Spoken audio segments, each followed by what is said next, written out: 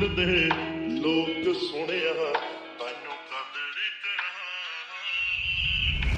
ਪਾਵੇਗਾ ਸਮਝ ਜਾਵੇਗਾ ਗਲ ਲਾਵੇਗਾ ਤੈਨੂੰ ਸਬਰ ਕਰਾਂ।